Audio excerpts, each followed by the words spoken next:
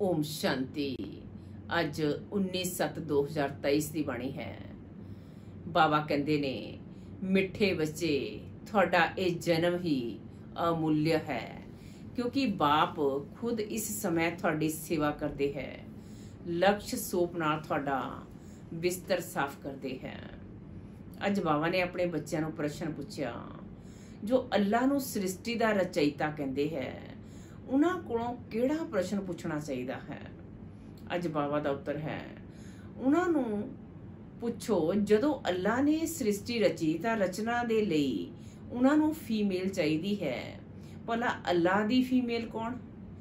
God father ਕਹਿੰਦੇ ਹੈ। ਤਾਂ ਜ਼ਰੂਰ ਮਦਰ ਵੀ ਚਾਹੀਦੀ ਹੈ ਨਾ? ਤੁਸੀਂ ਬੱਚੇ ਇਸ ਗੁਹਿਆ ਰਾਜ ਨੂੰ ਚੰਗੀ ਤਰ੍ਹਾਂ ਨਾਲ ਜਾਣਦੇ ਹੈ। ਅੱਲਾ ਦੀ ਫੀਮੇਲ ਹੈ ਇਹ ਬ੍ਰਹਮਾ। ਇਹ ਤੁਹਾਡੀ ਵੱਡੀ ਮਾਂ। ਇਸ ਗੱਲ ਨੂੰ ਮਨੁੱਖ ਸਮਝ ਨਹੀਂ ਸਕਦੇ। ਗੀਤ ਹੈ ਅੱਜ ਦਾ, ਕਿਸਨੇ ਇਹ ਸਭ ਖੇਡ ਰਚਾਇਆ? ਓਮ ਸ਼ਾਂਤੀ। ਬੱਚੇ ਜਾਣਦੇ ਹੈ ਕੋਈ ਵੀ ਮਨੁੱਖ ਇਸ ਗੀਤ ਦਾ ਅਸਲ ਅਰਥ ਕਰ ਨਾ ਸਕੇ। ਨਾਟਕ ਬਣਾਉਣ ਵਾਲੇ ਵੀ ਨਹੀਂ ਸਮਝਦੇ। ਇਵੇਂ ਹੀ ਗੀਤ ਬਣਾ ਦਿੰਦੇ ਹੈ। ਜਿਵੇਂ ਸ਼ਾਸਤਰ ਬਣਾ ਦਿੱਤੇ ਹੈ। ਸਮਝਦੇ ਕੁਝ ਨਹੀਂ। ਤੁਸੀਂ ਵੇਦਾਂ ਦੇ ਲਈ ਕਹਿੰਦੇ ਹੈ, ਇਹ ਧਰਮ ਸ਼ਾਸਤਰ ਨਹੀਂ ਹੈ। ਸ਼ਾਸਤਰ ਕਹਾਂਗੇ, ਪਰ ਧਰਮ ਸ਼ਾਸਤਰ ਨਹੀਂ ਹੈ। ਹੁਣ ਧਰਮ ਸ਼ਾਸਤਰ ਨਾਲ ਤਾਂ ਕੁਝ ਫਾਇਦਾ ਹੋਣਾ ਚਾਹੀਦਾ ਹੈ। ਧਰਮ ਸ਼ਾਸਤਰ ਤਾਂ ਅਰਥ ਵੀ ਸਮਝਦੇ ਹੈ। ਸ਼ਾਸਤਰ ਮਤਲਬ ਜਿਸ ਵਿੱਚ ਕੋਈ ਧਰਮ ਸਥਾਪਨ ਨਹੀਂ ਹੁੰਦਾ ਹੈ, ਕਿਸੇ ਦੁਆਰਾ। ਤਾਂ ਪੁੱਛਣਾ ਚਾਹੀਦਾ ਹੈ, ਵੇਦ, ਉਪਨਿਸ਼ਦ ਕਿਸ ਧਰਮ ਦੇ ਸ਼ਾਸਤਰ ਹੈ? ਉਹ ਧਰਮ ਕਿਸ ਨੇ ਸਥਾਪਨ ਕੀਤਾ? ਇਹਨਾਂ ਵਿੱਚੋਂ ਤੇ ਕਈ ਧਰਮ ਹੀ ਨਹੀਂ ਨਿਕਲਦਾ ਹੈ। ਕਿਹੜੇ ਕਿਹੜੇ ਧਰਮ ਹੈ, ਉਹ ਵੀ ਸਮਝਾਇਆ ਜਾਂਦਾ ਹੈ। ਜਿਵੇਂ ਝਾੜ ਵਿੱਚ ਮੁੱਖ ਹੈ ਥੁਰ ਮਨਾ ਤਨਾ। ਫਿਰ ਵੱਡੀ ਟਾਲ ਟਾਲੀਆਂ, ਫਿਰ ਛੋਟੀ ਛੋਟੀ ਟਾਲ ਟਾਲੀਆਂ ਨਿਕਲਦੀਆਂ ਹੈ। ਤਾਂ ਬੱਚਿਆਂ ਨੂੰ ਸਮਝਾਇਆ ਜਾਂਦਾ ਹੈ। ਇਹ ਜੋ ਧਰਮ ਸ਼ਾਸਤਰ ਹੈ, ਸਰਵ ਸ਼ਾਸਤਰ ਮੇ ਸ਼੍ਰੋਮਣੀ ਗੀਤਾ, ਉਹ ਹੈ ਥੁਰ। ਉਹਨਾਂ ਤੇ ਬਾਅਦ ਬਾਕੀ ਸਭ ਠਹਿਰੇ ਰਚਨਾ। ਇਹ ਇਸਲਾਮੀ, ਬੋਧੀ, ਕ੍ਰਿਸਚਨ ਆਦਿ, ਇਹ ਸਭ ਕਲਪ ਬ੍ਰਿਕਸ਼ ਦੇ ਟਾਲ ਟਾਲੀਆਂ ਹੈ। ਗੀਤਾ ਵਿੱਚ ਵੀ ਲਿਖਿਆ ਹੋਇਆ ਹੈ, ਮਨੁੱਖ ਸ੍ਰਿਸ਼ਟੀ ਦਾ ਝਾੜ ਹੈ। ਤਾਂ ਇਹ ਝਾੜ ਤਾਂ ਰਾਜ, ਬੁੱਧੀ ਵਿੱਚ ਹੁਣ ਬੈਠਿਆ ਹੈ। ਇਸ ਦਾ ਮੁੱਖ ਥੁਰ ਹੈ ਆਦਿ ਸਨਾਤਨ ਦੇਵੀ ਦੇਵਤਾ ਧਰਮ। ਇਸ ਝਾੜ ਦੀ ਭੇਟ ਬੜਦੇ ਝਾੜ ਨਾਲ ਕੀਤੀ ਜਾਂਦੀ ਹੈ। ਉਹ ਬਹੁਤ ਵੱਡਾ ਹੁੰਦਾ ਹੈ, ਝਾੜ ਜਦੋਂ ਪੁਰਾਣਾ ਹੁੰਦਾ ਹੈ, ਤਾਂ ਉਹਨਾਂ ਦਾ ਥੁਰ ਮਨਾ ਤਨਾ ਸੜ ਜਾਂਦਾ ਹੈ। ਬਾਕੀ ਟਾਲ ਟਾਲੀਆਂ ਰਹਿੰਦੀਆਂ ਹੈ, ਇਹ ਵੀ ਇਵੇਂ ਹੀ ਹੈ, ਬੱਚੇ ਜਾਣਦੇ ਹੈ। ਇਹਨਾਂ ਦਾ ਥੁਰ ਜੋ ਦੇਵੀ ਦੇਵਤਾ ਧਰਮ ਸੀ, ਉਹ ਹੁਣ ਹੈ ਨਹੀਂ। ਪਰਮਾਤਮਾ 24 ਅਵਤਾਰ ਲੈਂਦੇ ਹੈ, ਤਾਂ ਉਹ ਸਰਵ ਵਿਆਪੀ ਹੋ ਨਹੀਂ ਸਕਦੇ। ਜਦੋਂ ਅਵਤਾਰ ਲੈਂਦੇ ਹੈ, ਤਾਂ ਉਹਨਾਂ ਨੂੰ ਸਰਵ ਵਿਆਪੀ ਕਿਵੇਂ ਕਹਾਂਗੇ? ਨਵੀਂ ਗੱਲ ਹੈ ਨਾ। ਕਿੰਨਾ ਵੱਡਾ ਝਾੜ ਹੈ, ਥੁਰ ਹੈ ਹੀ ਨਹੀਂ। ਇੱਕ ਹੀ ਮਨੁੱਖ ਨਹੀਂ, ਜੋ ਕਹਿਣ, ਅਸੀਂ ਆਦਿ ਸਨਾਤਨ ਦੇਵੀ ਦੇਵਤਾ ਧਰਮ ਦੇ ਹਾਂ। ਸਤਜੁਗ ਨੂੰ ਲੱਖਾਂ ਬਰੇ ਪਛਿਆੜੀ ਵਿੱਚ ਲੈ ਜਾਂਦੇ ਹੈ। ਕਿੰਨੀ ਮੁਸ਼ਕਲ ਦੀ ਗੱਲ ਹੋ ਗਈ ਹੈ। ਹੁਣ ਸਭ ਮਨੁੱਖ ਦੁਖੀ ਹੀ ਦੁਖੀ ਹੈ। ਸੁਖੀ ਕੌਣ ਹੋ ਸਕਦਾ ਹੈ? ਸੰਨਿਆਸੀਆਂ ਦੀ ਬੁੱਧੀ ਵਿੱਚ ਵੀ ਇਹ ਭੇਟ ਆਏਗੀ। ਨਹੀਂ, ਕਿ ਇੱਥੇ ਕਾਗ ਵਿਸ਼ਟਾ ਸਮਾਨ ਸੁਖ ਹੈ ਅਤੇ ਅਥਾ ਦੁੱਖ ਹੈ। ਇਹ ਉਹਨਾਂ ਨੂੰ ਪਤਾ ਨਹੀਂ ਹੈ। ਹੁਣ ਬਾਪ ਦੱਸਦੇ ਹੈ, ਤੁਹਾਨੂੰ ਅਥਾ ਸੁਖ ਵਿੱਚ ਫਿਰ ਤੋਂ ਲੈ ਜਾਂਦਾ ਹਾਂ। ਇਸ ਸਮੇਂ ਆਪਣਾ ਪਾਠ ਬਜਾਏ ਸਭ ਕੁਝ ਕਰਕੇ ਛਿਪ ਜਾਂਦੇ ਹੈ। ਉਹਨਾਂ ਦੇ ਪਾਠ ਸਭ ਵਜਾਉਂਦੇ ਹੈ। ਇਸਲਾਮੀ ਬੋਧੀ ਆਦਿ ਸਭ ਛਿਪ ਜਾਣਗੇ, ਉੱਪਰ ਚਲੇ ਜਾਣਗੇ। ਇਹ ਵੀ ਕੋਈ ਨਹੀਂ ਜਾਣਦੇ। ਮਨੁੱਖਾਂ ਨੂੰ ਸਮਝਾਇਆ ਜਾਂਦਾ ਹੈ, ਜਾਨਵਰ ਨੂੰ ਤੇ ਨਹੀਂ ਦੱਸਣਗੇ। ਮਨੁੱਖ ਦਾ ਜਨਮ ਸਭ ਤੋਂ ਉੱਚ ਗਾਇਆ ਜਾਂਦਾ ਹੈ। ਉਹ ਕਿਹੜਾ? ਕਹਿੰਦੇ ਵੀ ਹੈ ਕਿ ਮਨੁੱਖ ਦੀ ਤਾਂ ਚਮੜੀ ਵੀ ਕੰਮ ਵਿੱਚ ਨਹੀਂ ਆਉਂਦੀ। ਫਿਰ ਕਹਿੰਦੇ ਹੈ, ਮੁਖ ਦਾ ਜਨਮ ਮਨੁੱਖ ਦਾ ਜਨਮ ਉੱਤਮ ਹੈ। ਅਸਲ ਵਿੱਚ ਤੁਹਾਡਾ ਇਹ ਉੱਤਮ ਜਨਮ ਹੈ ਜੋ ਬਾਪ ਬੈਠ ਤੁਹਾਡੀ ਸੇਵਾ ਕਰਦੇ ਹੈ। ਦੁਨੀਆ ਤੇ ਮਨੁੱਖਾਂ ਦਾ ਇਹ ਜੀਵਨ ਬਹੁਤ ਕਨਿਸ਼ਟ ਹੈ। ਤੁਸੀਂ ਜਾਣਦੇ ਹੋ ਅਸੀਂ ਵੀ ਪਿਛਲੇ ਛੀ ਮੂਤ ਪਲਿੱਤੀ ਮਨੁੱਖ ਸੀ। ਹੁਣ ਬਾਬਾ ਸਾਡੇ ਇਸ ਬਿਸਤਰ ਨੂੰ ਗਿਆਨ, ਲਕਸ਼, ਸੋਪ ਨਾਲ ਸਾਫ਼ ਕਰਦੇ ਹੈ ਅਤੇ ਕਹਿੰਦੇ ਹੈ, ਹੁਣ ਆਪਣੇ ਬਾਪ ਨੂੰ ਯਾਦ ਕਰੋ। ਇਸ ਦੁਨੀਆ ਵਿੱਚ ਬਾਪ ਨੂੰ ਕੋਈ ਵੀ ਨਹੀਂ ਜਾਣਦੇ ਹੈ। ਬਾਪ ਨੂੰ ਜਾਣਨ ਤਾਂ ਤੇ ਬੱਚੇ ਬਣਨ, ਸ਼ਿਵ ਦੇ ਬਣੇ, ਬ੍ਰਹਮਾ ਦੇ ਬਣੇ ਤਾਂ ਪੋਤਰੇ ਕਹਾਣ। ਬ੍ਰਹਮਾ ਬ੍ਰਾਹਮਣ ਵੀ ਦੋ ਤਰ੍ਹਾਂ ਦੇ ਹੈ। ਇੱਕ ਹੈ ਮੁੱਖ ਵੰਸ਼ਾਵਲੀ, ਦੂਸਰੇ ਹੈ ਕੁਖ ਵੰਸ਼ਾਵਲੀ। ਤੁਸੀਂ ਹੋ ਬ੍ਰਹਮਾ ਦੇ ਮੁੱਖ ਵੰਸ਼ਾਵਲੀ, ਬ੍ਰਹਮਾ ਕੁਮਾਰ ਕੁਮਾਰੀਆਂ। ਬ੍ਰਹਮਾ ਦਾ ਬਾਪ ਕੌਣ? ਸ਼ਿਵ ਬਾਬਾ ਉਹਨਾਂ ਦਾ ਬਾਪ ਤੇ ਕੋਈ ਹੁੰਦਾ ਨਹੀਂ। ਤੁਹਾਨੂੰ ਪੜਾਉਣ ਵਾਲਾ ਵੀ ਇਹੋ ਹੈ। ਤੁਹਾਡਾ ਗੁਰੂ ਵੀ ਉਹ ਹੈ। ਹੁਣ ਸਮੁਖ ਬੈਠੇ ਹੈ। ਫਿਰ ਛਿਪ ਜਾਣਗੇ। ਭਾਰਤਿਤ ਦੁਨੀਆ ਨੂੰ ਪਾਵਨ ਬਣਾਏ ਦੇਵੀ ਦੇਵਤਾ ਧਰਮ ਦੀ ਸਥਾਪਨਾ ਕਰ ਹੋਰ ਸਭ ਨੂੰ ਮੁਕਤੀ ਧਾਮ ਵਿੱਚ ਲੈ ਜਾਣਗੇ। 21 ਜਨਮ ਦਾ ਸੁਖ ਦੇ ਦਿੱਤਾ। ਫਿਰ ਹੋਰ ਕੀ ਚਾਹੀਦਾ ਹੈ? ਬਾਬਾ ਸਦਾ ਸੁਖੀ ਤਾਂ ਬਣਾਉਂਦੇ ਹੈ। ਬਾਕੀ ਉੱਚ ਪਦਵੀ ਪਾਉਣ ਲਈ ਪੁਰਸ਼ਾਰਥ ਕਰਨਾ ਪਏ। ਸ਼੍ਰੀ ਕ੍ਰਿਸ਼ਨਪੁਰੀ ਨੂੰ ਸੁਖ ਧਾਮ ਕਿਹਾ ਜਾਂਦਾ ਹੈ। ਸ਼੍ਰੀ ਨਾਰਾਇਣ ਦਾ ਬਚਪਨ ਨਹੀਂ ਦਿਖਾਉਂਦੇ ਹੈ। ਸ਼੍ਰੀ ਕ੍ਰਿਸ਼ਨ ਦਾ ਸਵੈਂਬਰ ਵਿਖਾਉਂਦੇ ਹੈ। ਜੇਕਰ ਰਾਧੇ ਨਾਲ ਸਵੈਂਬਰ ਹੋਇਆ, ਤਾਂ ਫਿਰ ਉਹਨਾਂ ਦਾ ਨਾਮ ਕਿਉਂ ਬਦਲੀ ਹੋਇਆ? ਇਹ ਦਿਖਾਉਂਦੇ ਨਹੀਂ। ਲక్ష్ਮੀ ਨਾਰਾਇਣ ਦਾ ਤਾਂ ਮਨੁੱਖਾਂ ਨੂੰ ਪਤਾ ਨਹੀਂ। ਉਹਨਾਂ ਦੇ ਜੀਵਨ ਚਰਿੱਤਰ ਨੂੰ ਤੇ ਕੋਈ ਜਾਣਦੇ ਨਹੀਂ। ਤੁਸੀਂ ਹੁਣ ਸਮਝ ਰਹੇ ਹੋ, ਕੋਟਾਂ ਵਿੱਚ ਕੋਈ ਹੀ ਨਿਕਲੇਗਾ, ਜਿਨ੍ਹਾਂ ਨੇ ਪੂਰਾ ਚੱਕਰ ਲਗਾਇਆ ਹੋਵੇਗਾ। ਤੁਸੀਂ ਇਹ ਜਾਣਦੇ ਹੋ, ਭਗਤੀ ਉਹ ਕਰਦੇ ਹੈ ਜੋ ਪਹਿਲੇ ਪਹਿਲੇ ਪੂਜਿਆ ਤੋਂ ਪੁਜਾਰੀ ਬੰਦੇ ਹੈ। ਭਗਤ ਤੇ ਸਭ ਹੈ, ਸਰਸੋਂ ਦੇ ਮੁਆਫਿਕ ਮਨੁੱਖ ਹੈ। ਤੁਸੀਂ ਜਾਣਦੇ ਹੋ, ਹੁਣ ਉਹ ਵਿਚਾਰੇ ਸਭ ਮੌਤ ਦੀ ਚੱਕੀ ਵਿੱਚ ਹੈ। ਹੁਣ ਤੁਹਾਨੂੰ ਬੱਚਿਆਂ ਨੂੰ ਬਹੁਤ ਵੱਡੀ ਬੁੱਧੀ ਮਿਲੀ ਹੈ।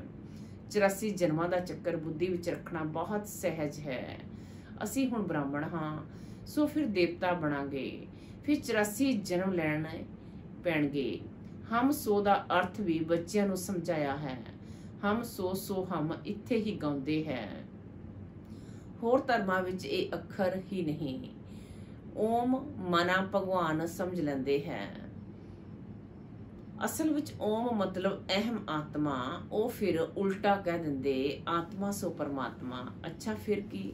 ਅਸੀਂ ਸਰੀਰ ਤਾਂ ਹੈ ਨਹੀਂ, ਪਰਮ ਪਿਤਾ ਪਰਮਾਤਮਾ ਤਾਂ ਇਵੇਂ ਕਹਿ ਨਾ ਸਕੇ ਕਿ ਅਹਿਮ ਆਤਮਾ ਮਮ ਸਰੀਰ। ਇਹ ਬਾਪ ਕਹਿੰਦੇ ਹੈ। ਅਹਿਮ ਆਤਮਾ ਤਾਂ ਬਰੋਬਰ ਹਾਂ। ਇਸ ਵਿੱਚ ਇਹ ਸਰੀਰ ਲਾਉਣ ਤੇ ਲਿੱਤਾ ਹੈ। ਇਹ ਸਾਡੀ ਜੁੱਤੀ ਨਹੀਂ ਹੈ, ਸਾਡਾ ਪੈਰ ਹੈ ਨਹੀਂ। ਸਾਡੇ ਚਰਨਾਂ ਦੀ ਪੂਜਾ ਹੋ ਨਹੀਂ ਸਕਦੀ। ਕ੍ਰਿਸ਼ਨ ਦੇ ਚਰਨ ਹੈ, ਸਾਡੇ ਤੇ ਹੈ ਨਹੀਂ। ਮੈਂ ਹਾਂ ਹੀ ਨਿਰਾਕਾਰ। ਉਵੇਂ ਤੇ ਆਤਮਾ ਵੀ ਨਿਰਾਕਾਰ ਹੈ, ਪਰ ਉਹ 84 ਜਨਮਾਂ ਵਿੱਚ ਆਉਂਦੀ ਹੈ। ਮੇਰਾ ਤਾਂ ਸਰੀਰ ਹੈ ਨਹੀਂ, ਮੈਂ ਅਸ਼ਰੀਰੀ ਹਾਂ। ਤੁਹਾਨੂੰ ਵੀ ਕਹਿੰਦਾ ਹਾਂ ਅਸ਼ਰੀਰੀ ਬਣ ਕੇ ਮੈਨੂੰ ਯਾਦ ਕਰੋ। ਤੁਸੀਂ ਜਾਣਦੇ ਹੋ ਬਾਬਾ, ਆਇਆ ਹੋਇਆ ਹੈ। ਉਹਨਾਂ ਦਾ ਕੀ ਪਾਠ ਹੈ? ਪਾਤਿਤ ਸ੍ਰਿਸ਼ਟੀ ਨੂੰ ਪਾਵਨ ਬਣਾਉਣਾ। ਨਿਰਾਕਾਰ ਤਾਂ ਜ਼ਰੂਰ ਕਿਸੇ ਸਰੀਰ ਵਿੱਚ ਆਇਆ ਹੋਵੇਗਾ। ਮਨੁੱਖਾਂ ਨੂੰ ਪਤਾ ਨਾ ਹੋਣ ਦੇ ਕਾਰਨ ਉਹਨਾਂ ਨੇ ਫਿਰ ਨਾਮ ਲਿਖ ਦਿੱਤਾ ਹੈ। ਫਰਸਟ ਪ੍ਰਿੰਸ ਸ਼੍ਰੀ ਕ੍ਰਿਸ਼ਨ ਦਾ। ਹੁਣ ਸ਼੍ਰੀ ਕ੍ਰਿਸ਼ਨ ਇੱਥੇ ਕਿਵੇਂ ਆ ਸਕਦਾ ਹੈ? ਇਹ ਸਮਝ ਕੇ ਫਿਰ ਸਮਝਾਉਣਾ ਹੈ। ਟਗੋਰ ਆਦੀ ਗੀਤਾ ਦੀ ਕਿੰਨੀ ਮਹਿਮਾ ਕਰਦੇ ਹੈ। ਅਸਲ ਵਿੱਚ ਇਹ ਸ਼੍ਰੀ ਕ੍ਰਿਸ਼ਨ ਦੇ ਬਹੁਤ ਜਨਮਾਂ ਦੇ ਅੰਤ ਦਾ ਜਨਮ ਹੈ, ਜਿਸ ਵਿੱਚ ਸ਼ਿਵ ਬਾਬਾ ਬੈਠ ਗੀਤਾ ਦਾ ਗਿਆਨ ਸੁਣਾਉਂਦੇ ਹੈ। ਬਾਬਾ ਕਹਿੰਦੇ ਹੈ, ਮੈਂ ਛੋਟੇ ਬੱਚੇ ਦੇ ਤਨ ਵਿੱਚ ਕਿਵੇਂ ਬੈਠ ਸੁਣਾਵਾਂਗਾ? ਜ਼ਰੂਰ ਅਨੁਭਵੀ ਰਥ ਲਵਾਂਗਾ। ਬ੍ਰਹਮਾ ਦੁਆਰਾ ਹੀ ਸਥਾਪਨਾ ਕਰਨ, ਕਰਨਗੇ। ਕਲਪ ਪਹਿਲੇ ਵੀ ਤੁਸੀਂ ਬ੍ਰਹਮਾ ਕੁਮਾਰ ਕੁਮਾਰੀਆਂ ਨੇ ਬ੍ਰਹਮਾ ਦੁਆਰਾ ਵਰਸਾ ਲਿਆ ਸੀ। ਹੁਣ ਬਾਪ ਕਹਿੰਦੇ ਹੈ, ਹੋਰ ਸੰਗ ਤੋੜ ਮੁਝ ਸੰਗ ਜੋੜੋ, ਮੇਰਾ ਤਾਂ ਇੱਕ ਸ਼ਿਵ ਬਾਬਾ ਦੂਸਰਾ ਨਾ ਕੋਈ। ਤੁਸੀਂ ਮਾਤ ਪਿਤਾ, ਜਿਸ ਦੀ ਐਨੀ ਮਹਿਮਾ ਹੈ, ਉਹ ਤੁਸੀਂ ਉਹਨਾਂ ਦੇ ਸਮੁਖ ਬੈਠੇ ਹੋ। ਵਿਚਾਰ ਕੀਤਾ ਜਾਏ, ਬਰੋਬਰ ਸਾਨੂੰ ਕਿਸ ਨੇ ਰਚਿਆ? ਕਹਿੰਦੇ ਹੈ, ਅੱਲਾ ਨੇ ਰਚਿਆ। ਤਾਂ ਜ਼ਰੂਰ ਅੱਲਾ ਦੀ ਕੋਈ ਫੀਮੇਲ ਵੀ ਹੋਵੇਗੀ, ਅੱਲਾ ਤੇ ਨਿਰਾਕਾਰ ਹੈ, ਉਹਨਾਂ ਦੀ ਫੀਮੇਲ ਫਿਰ ਕਿੱਥੋਂ ਤੋਂ ਆਈ? ਤੁਸੀਂ ਗॉड ਕਹਿੰਦੇ ਹੋ, ਤਾਂ ਫਾਦਰ ਹਮੇਸ਼ਾ ਰਚਤਾ ਹੁੰਦਾ ਹੈ। ਮਦਰ ਹੀ ਨਾ ਹੋਵੇ ਤਾਂ ਉਹਨਾਂ ਨੂੰ ਫਾਦਰ ਕਿਵੇਂ ਕਹਾਂਗੇ? ਬੱਚਾ ਪੈਦਾ ਹੁੰਦਾ ਹੈ, ਤਾਂ ਹੀ ਤੇ ਫਾਦਰ ਕਹਿੰਦੇ ਹੈ ਨਾ। ਇਹ ਕਿਸ ਨੂੰ ਪਤਾ ਨਹੀਂ ਕਿ ਗॉड ਫਾਦਰ ਦੀ ਫੀਮੇਲ ਕੌਣ ਹੈ? ਇਹ ਹੈ ਸਭ ਤੋਂ ਗੁਈਆ ਗੱਲਾਂ। ਆਦਮ ਬੀਬੀ ਦੋਨੋਂ ਹੈ। ਆਦਮ ਉਹਨਾਂ ਨੂੰ ਕਹਾਂਗੇ ਤਾਂ ਫਿਰ ਸਰਸਵਤੀ ਦੀ ਬੀਬੀ ਨਹੀਂ ਕਹਿ ਸਕਦੇ। ਉਹ ਬੀਬੀ ਹੋਵੇ ਤਾਂ ਫਿਰ ਉਹਨਾਂ ਦੀ ਮਾਂ ਕੌਣ? ਇਹ ਬੜੀਆਂ ਸਮਝਣ ਦੀਆਂ ਗੱਲਾਂ ਹੈ। ਬਾਪ ਹੀ ਬੈਠ ਸਮਝਾਉਂਦੇ ਹੈ। ਇਸ ਹਿਸਾਬ ਨਾਲ ਇਹ ਬ੍ਰਹਮਾ ਮੇਰੀ ਸਜਣੀ ਹੋਈ। ਇਸ ਦੇ ਮੁਖ ਦੁਬਾਰਾ ਰਚਦਾ ਹਾਂ ਤੁਸੀਂ ਬੱਚਿਆਂ ਨੂੰ। ਬ੍ਰਹਮਾ ਤਨ ਵਿੱਚ ਪ੍ਰਵੇਸ਼ ਕਰਦਾ ਹਾਂ। ਉਹਨਾਂ ਨੂੰ ਸੰਭਾਲਣ ਦੇ ਲਈ ਫਿਰ ਜਗਤੰਬਾ ਨਮਿਤ ਬਣੀ ਹੋਈ ਹੈ। ਆਦਿ ਦੇ ਬ੍ਰਹਮਾ ਅਤੇ ਜਗਤੰਬਾ, ਸਰਸਵਤੀ ਇਹ ਕੌਣ ਹੈ? ਵਿਵੇਕ ਕਹਿੰਦਾ ਹੈ, ਬ੍ਰਹਮਾ ਦੀ ਬੇਟੀ ਹੈ। ਤਾਂ ਰਚਨਾ ਕਿਵੇਂ ਰਚੀ? ਬ੍ਰਹਮਾ ਦੁਆਰਾ ਰਚਿਆ ਤਾਂ ਇਹ ਹੈ ਵੱਡੀ ਮਾਂ। ਫਿਰ ਸੰਭਾਲਣ ਦੇ ਲਈ ਮੰਮਾ ਵੀ ਹੈ, ਬਾਬਾ ਵੀ ਹੈ। ਪਹਿਲੇ ਨੰਬਰ ਵਿੱਚ ਸਰਸਵਤੀ ਜਾਂਦੀ ਹੈ। ਜਗਤੰਬਾ ਦੀ ਕਿੰਨੀ ਮਹਿਮਾ ਹੈ। ਹੁਣ ਤੁਸੀਂ ਸਮਝ ਗਏ ਹੋ, ਹਮ ਸੋ ਬ੍ਰਾਹਮਣ ਬਣੇ ਹਾਂ। ਅਸੀਂ ਈਸ਼ਵਰ ਦੀ ਗੋਦ ਵਿੱਚ ਆਏ ਹਾਂ। ਇਸ ਵਿੱਚ ਵੀ ਦੋ ਤਰ੍ਹਾਂ ਦੇ ਹੈ, ਸਗੇ ਅਤੇ ਲਗੇ।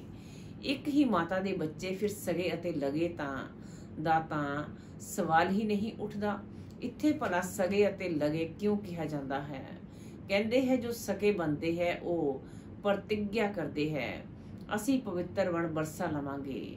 ਤਾਂ ਅਜਿਹੇ ਪਵਿੱਤਰ ਦੀ ਪਵਿੱਤਰ ਹੀ ਗੱਦੀ ਨਸ਼ੀਨ ਵਾਰਿਸ ਬੰਦੇ ਹੈ। ਲਗੇ ਫਿਰ ਪ੍ਰਜਾ ਵਿੱਚ ਚਲੇ ਜਾਂਦੇ ਹੈ। ਸਗੇ ਵੀ ਬਹੁਤ ਬਣਨਗੇ ਫਿਰ ਉਹਨਾਂ ਵਿੱਚ ਵੀ ਨੰਬਰਵਾਰ ਹੋਣਗੇ। ਜਿੰਨਾ ਜੋ ਪੁਰਸ਼ਾਰਥ ਕਰਨਗੇ, ਉਹ ਮਾਂ-ਬਾਪ ਦੇ ਤਖਤ ਤੇ ਬੈਠਣਗੇ। ਮੰਮਾ ਬਾਬਾ ਤਖਤ ਤੇ ਬੈਠਦੇ ਹੈ, ਤਾਂ ਸਾਨੂੰ ਵੀ ਤਖਤ ਮਿਲਣਾ ਚਾਹੀਦਾ ਹੈ। ਪਰ ਬਣਨਗੇ ਨੰਬਰਵਾਰ ਤਾਂ ਇਹ ਹੈ ਯੋਗ ਦੀ ਯਾਤਰਾ। ਬਾਬਾ ਨੂੰ ਯਾਦ ਕਰਨਾ ਹੈ ਸਬਦਰਸ਼ਨ ਚੱਕਰ ਫਿਰਣਾ ਹੈ। ਆਪ ਸਮਾਨ ਬਣਨਾ ਹੈ, ਮਿਹਨਤ ਕਰਨੀ ਪੈਂਦੀ ਹੈ। ਆਪ ਸਮਾਨ ਬਣਾਉਣ ਦੀ, ਬੱਚੀਆਂ, ਪਰਚੇ ਦੇਖ ਬਾਪ ਦੇ ਘਰ, ਬਾਪ ਦੇ ਕੋਲ ਰਿਫਰੈਸ਼ ਹੋਣ ਲਈ ਆਉਂਦੀਆਂ ਹੈ, ਬਾਬਾ ਦੇਖਦੇ ਹੈ। ਕੌਣ ਕੌਣ ਬਾਬਾ ਕੋਲ ਪੂਰਾ ਵਰਸਾ ਲੈਣਗੇ? ਹੋਰ ਸਭ ਪਾਸੇ ਤੋਂ ਮਮਤਵ ਮਿਟਾ ਕੇ ਇੱਕ ਵੱਲ ਲਗਾਣਗੇ ਜਾਂਦੇ ਹੈ ਬਾਬਾ, ਸਾਨੂੰ ਵਿਸ਼ਵ ਦਾ ਮਾਲਕ ਬਣਾਉਣਾ ਵਾਲਾ ਹੈ। ਬਾਪ ਕਹਿੰਦੇ ਹੈ, ਮੈਂ ਤੁਹਾਨੂੰ ਸਵਰਗ ਦਾ ਮਾਲਿਕ ਬਣਾਵਾਂਗਾ। ਫਿਰ ਭਾਵੇਂ ਸੂਰਜਵੰਸ਼ੀ, ਭਾਵੇਂ ਚੰਦਰਵੰਸ਼ੀ ਬਣੋ, ਤਾਂ ਬਾਪ ਆਪਣੇ ਆਪ ਸਭ ਕੁਝ ਕਰ ਰਹੇ ਹੈ, ਫਿਰ ਛਿਪ ਜਾਣਗੇ। ਘੜੀ ਘੜੀ ਤੇ ਅਵਤਾਰ ਲੈਂਦੇ ਨਹੀਂ ਹੈ। ਉਹਨਾਂ ਨੂੰ ਆਪਣਾ ਸਰੀਰ ਹੈ ਹੀ ਨਹੀਂ, ਉਹ ਇੱਕ ਹੀ ਵਾਰ ਆਉਂਦੇ ਹੈ। ਤੁਸੀਂ ਤਾਂ ਘੜੀ ਘੜੀ ਇੱਕ ਚੋਲਾ ਛੱਡ ਦੂਸਰਾ ਲੈਂਦੇ ਰਹਿੰਦੇ ਹੋ। ਮੈਂ ਪੁਨਰ ਜਨਮ ਵਿੱਚ ਆਉਂਦਾ ਨਹੀਂ ਹਾਂ। ਕਿੰਨੀ ਚੰਗੀ ਤਰ੍ਹਾਂ ਸਮਝਾਉਂਦੇ ਹੈ। ਅੱਗੇ ਇਹ ਗੱਲਾਂ ਬੁੱਧੀ ਵਿੱਚ ਨਹੀਂ ਸੀ।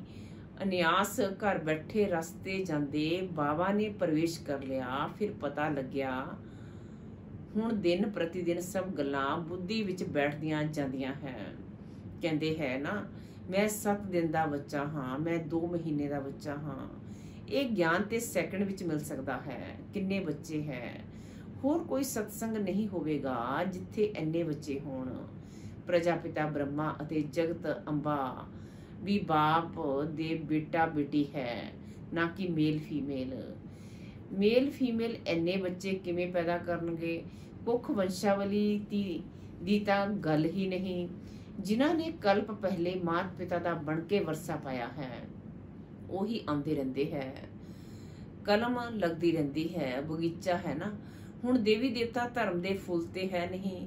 ਬਾਕੀ ਸਭ ਜਿਵੇਂ ਕੰਡੇ ਹੈ ਚੁੱਪਦੇ ਹੈ। ਇਹ ਕੰਡਿਆਂ ਦੀ ਦੁਨੀਆ ਹੈ। ਬਾਪ ਆ ਕੇ ਕੰਡਿਆਂ ਤੋਂ ਕਲੀ ਕਲੀ ਤੋਂ ਫੁੱਲ ਬਣਾਉਂਦੇ ਹੈ। ਸ਼੍ਰੀਮਤ ਤੇ ਨਹੀਂ ਚੱਲਦੇ ਹੈ ਤਾਂ ਫਿਰ ਡਿੱਗ ਜਾਂਦੇ ਹੈ। ਬਾਬਾ ਸਮਝ ਜਾਂਦੇ ਹੈ, ਇਹ ਵਿਕਾਰ ਵਿੱਚ ਡਿੱਗ ਪਿਆ। ਹੁਣ ਤੁਸੀਂ ਪਾਤੇ ਤੋਂ ਪਾਵਨ ਬਣ ਰਹੇ ਹੋ। ਬਾਪ ਗਾਂਧੀ ਵੀ ਪਾਤਿਤ ਪਾਵਨ ਨੂੰ ਯਾਦ ਕਰਦੇ ਹੈ, ਚਾਹੁੰਦੇ ਹੈ। ਵਰਲਡ ਆਲਮਾਈਟੀ ਅਥਾਰਟੀ ਦਾ ਰਾਜ ਹੋਵੇ। ਸੋ ਤਾਂ ਬਾਪ ਹੀ ਸਥਾਪਨ ਕਰਨਗੇ, ਤੁਸੀਂ ਜਾਣਦੇ ਹੋ। ਹੁਣ ਸਾਨੂੰ ਇਸ ਕੰਸਪੁਰੀ ਤੋਂ ਕ੍ਰਿਸ਼ਨਪੁਰੀ ਵਿੱਚ ਜਾਣਾ ਹੈ। ਭਾਰਤ ਵਿੱਚ ਸਤਜੁਗ ਸੀ। ਲక్ష్ਮੀ ਨਾਰਾਇਣ ਦਾ ਰਾਜ ਸੀ। 5000 ਬਰੇ ਪਹਿਲੇ ਦੀ ਗੱਲ ਹੈ। 5000 ਬਰੇ ਤੋਂ ਪੁਰਾਣੀ ਚੀਜ਼ ਕੋਈ ਹੁੰਦੀ ਨਹੀਂ। ਲੱਖਾਂ ਬਰੇ ਦੀ ਤਾਂ ਕੋਈ ਚੀਜ਼ ਰਹਿ ਨਾ ਸਕੇ। ਦੇਖੋ ਤੁਸੀਂ, ਬੁੱਢੀਆਂ ਮਾਤਾਵਾਂ ਗੁੜਗਾਵਾਂ ਤੋਂ ਆਈਆਂ ਹੈ ਮਾਤ ਪਿਤਾ ਦੇ ਕੋਲ। ਜਿੰਨਾ ਕੋਲੋਂ ਵਰਸਾ ਮਿਲਣਾ ਹੈ ਬਾਪ ਦੀ ਬੁੜੀਆਂ ਨੂੰ ਦੇਖ ਖੁਸ਼ ਹੁੰਦੇ ਹੈ। 5000 ਬਰੇ ਪਹਿਲੇ ਵੀ ਆ ਕੇ ਵਰਸਾ ਲਿਆ ਸੀ। ਸਾਰਾ ਮਦਦਾਰ ਪੁਰਸ਼ਾਰਥ ਤੇ ਹੈ। ਤੁਸੀਂ ਬੁੱਢੀਆਂ ਇੰਨਾ ਗਿਆਨ ਉਠਾ ਨਹੀਂ ਸਕਦੀਆਂ। ਇਹ ਦਾਦਾ ਬੁੱਢਾ ਤੇ ਬਹੁਤ ਵਧੀਆ ਪੜਾਉਂਦਾ ਹੈ। ਤੁਸੀਂ ਸਮਝਦੇ ਹੈ, ਜਵਾਨ ਸਰਸਵਤੀ ਮਾਂ ਚੰਗਾ ਪੜਾਉਂਦੀ ਹੈ। ਅਰੇ ਇਹ ਤਾਂ ਬ੍ਰਹਮਪੁੱਤਰਾ ਨਦੀ ਹੈ। ਇਹ ਤਾਂ ਜ਼ਰੂਰ ਜ਼ਿਆਦਾ ਪੜਦੇ ਹੋਣਗੇ ਨਾ। ਉਵੇਂ ਬੁੱਢਾ ਸਭ ਤੋਂ ਤੇਜ਼ ਹੈ। ਉਹ ਤਾਂ ਫਿਰ ਵੀ ਬੇਟੀ ਹੋ ਗਈ। ਬੁੜਿਆਂ ਦੇ ਲਈ ਵੀ ਹੈ ਬਹੁਤ ਸਹਿਜ। ਬਾਬਾ ਨੂੰ ਯਾਦ ਕਰਦੇ ਰਹੋ। ਓਹੋ, ਸ਼ਿਵ ਬਾਬਾ, ਕੁਰਬਾਨ ਜਾਵਾਂ। ਤੁਸੀਂ ਤੇ ਸੁਖ ਦਾਮ ਲੈ ਜਾਂਦੇ ਹੋ। ਬਸ ਇਸੀ ਖੁਸ਼ੀ ਵਿੱਚ ਰਹੋ ਤਾਂ ਵੀ ਬੇੜਾ ਪਾਰ ਹੈ। ਹਮੇਸ਼ਾ ਸਮਝੋ ਸ਼ਿਵ ਬਾਬਾ ਸਮਝਾਉਂਦੇ ਹੈ। ਇਹਨਾਂ ਨੂੰ ਛੱਡ ਦਵੋ। ਇਵੇਂ ਵੀ ਸਮਝੋ ਸ਼ਿਵ ਬਾਬਾ ਸੁਣਾਉਂਦੇ ਹੈ। ਤਾਂ ਬੁੱਧੀ ਜੋਗ ਦੇ ਕੋਲ ਜਾਣ ਨਾਲ ਵਿਕਰਮ ਵਿਨਾਸ਼ ਹੋਣਗੇ। ਮੰਮਾ ਵੀ ਸ਼ਿਵ ਤੋਂ ਸੁਣ ਕੇ ਸੁਣਾਉਂਦੀ ਹੈ। ਸदैव ਇੱਕ ਸ਼ਿਵ ਦੀ ਹੀ ਯਾਦ ਰਹੇ ਤਾਂ ਵਿਕਰਮ ਵਿਨਾਸ਼ ਹੁੰਦੇ ਰਹਿਣਗੇ। ਅੱਛਾ, ਮਿੱਠੇ ਮਿੱਠੇ ਸਿੱਖੀ ਲਦੇ ਬੱਚਿਆਂ ਪ੍ਰਤੀ ਮਾਤ ਪਿਤਾ ਬਾਪ ਦਾਦਾ ਦਾ ਯਾਦ ਪਿਆਰ ਅਤੇ ਗੁੱਡ ਮਾਰਨਿੰਗ। ਰੋਹਾਨੀ ਬਾਪ ਦੀ ਰੋਹਾਨੀ ਬੱਚਿਆਂ ਨੂੰ ਨਮਸਤੇ। ਧਾਰਨਾ ਲਈ ਮੁੱਖ ਸਾਰ ਨੰਬਰ 1 ਪਰ ਗੱਦੀ ਨਸ਼ੀਨ ਪੱਕਾ ਵਾਰਿਸ ਬਣਨ ਦੇ ਲਈ ਪਵਿੱਤਰਤਾ ਦੀ ਪ੍ਰਤੀਗਿਆ ਕਰ ਸਗਾ ਬੱਚਾ ਬਣਨਾ ਹੈ। ਹੋਰ ਸੰਗ ਤੋੜ ਇੱਕ ਸੰਗ ਜੋੜਨਾ ਹੈ। ਨੰਬਰ 2 ਆਪ ਸਮਾਨ ਬਣਨ ਦੀ ਸੇਵਾ ਕਰਨੀ ਹੈ। ਕਾਂਟੇ ਤੋਂ ਕਲੀ ਕਲੀ ਤੋਂ ਫੁੱਲ ਬਣਨਾ ਅਤੇ ਬਣਾਉਣਾ ਹੈ। ਨਵੇਂ ਝਾੜ ਦੀ ਕਲਮ ਲਗਾਣੀ ਹੈ।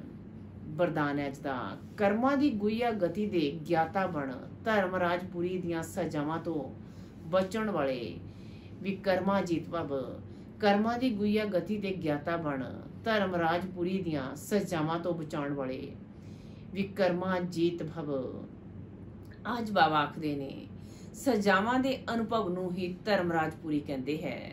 ਬਾਕੀ ਧਰਮਰਾਜਪੁਰੀ ਕੋਈ ਵੱਖ ਸਥਾਨ ਨਹੀਂ ਹੈ। ਲਾਸਟ ਵਿੱਚ ਆਪਣੇ ਕੀਤੇ ਹੋਏ ਪਾਪ ਜਮਦੂਤ ਦੇ ਡਰਾਵੇ ਨੇ ਰੂਪ ਵਿੱਚ ਸਾਹਮਣੇ ਆਉਂਦੇ ਹੈ। ਉਸ ਸਮੇਂ ਪਛਤਾਪ ਅਤੇ ਵੈਰਾਗ ਦੀ ਘੜੀ ਹੁੰਦੀ ਹੈ। ਛੋਟੇ ਛੋਟੇ ਪਾਪ ਵੀ ਭੂਤਾਂ ਦੀ ਤਰ੍ਹਾਂ ਲੜਦੇ ਹੈ। ਪਛਤਾਪ ਦੀ ਤਰਾਹੀ ਤਰਾਹੀ ਹੁੰਦੀ ਹੈ। ਇਸ ਲਈ ਉਹਨਾਂ ਸਜ਼ਾਵਾਂ ਦੀ ਫੀਲਿੰਗ ਤੋਂ ਬਚਣ ਦੇ ਲਈ ਕਰਮਾਂ ਦੀ ਗੁਈਆ ਗਤੀ ਦੇ ਗਿਆਤਾ ਬਣ, ਸਦਾ ਸ੍ਰੇਸ਼ਟ ਕਰਮ ਕਰੋ ਅਤੇ ਵਿਕਰਮਾ ਜਿਤ ਬਣੋ। ਸਲੋਗਨ ਹੈ ਦਾ ਜੋ ਤਨ ਮਨ ਧਨ ਨਾਲ ਬਾਪ ਦੇ ਪੂਰਾ ਬਲੀਹਾਰ ਜਾਂਦੇ ਹੈ ਉਹੀ ਗਲੇ ਦਾ ਹਾਰ ਬੰਦੇ ਹੈ, ਜੋ ਤਨ ਮਨ ਧਨ ਨਾਲ ਬਾਪ ਤੇ ਪੂਰਾ ਬਲੀ ਹਾਰ ਜਾਂਦੇ ਹੈ, ਉਹੀ ਗਲੇ ਦਾ ਹਾਰ ਬੰਦੇ ਹੈ, ਚੰਗਾ ਓਮ ਸ਼ਾਂਤੀ।